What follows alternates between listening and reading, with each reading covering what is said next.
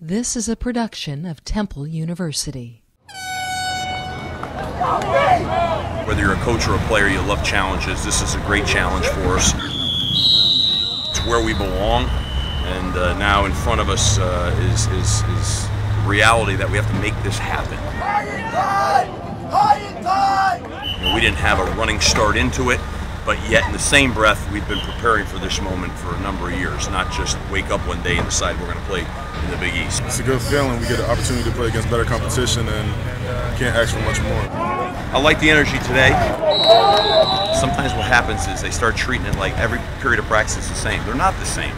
The culmination of all offense versus defense at the end is how we try to simulate a game. So we have to transition into that, and that's what's happened today a little bit, which was good. Philadelphia is one of the great sports cities in America. They love football. Come out and support the Temple Owls. You got a major college football program right here. If you're a real Philadelphia person, get behind this football program and let's make that Linc an electric atmosphere that we're all proud of.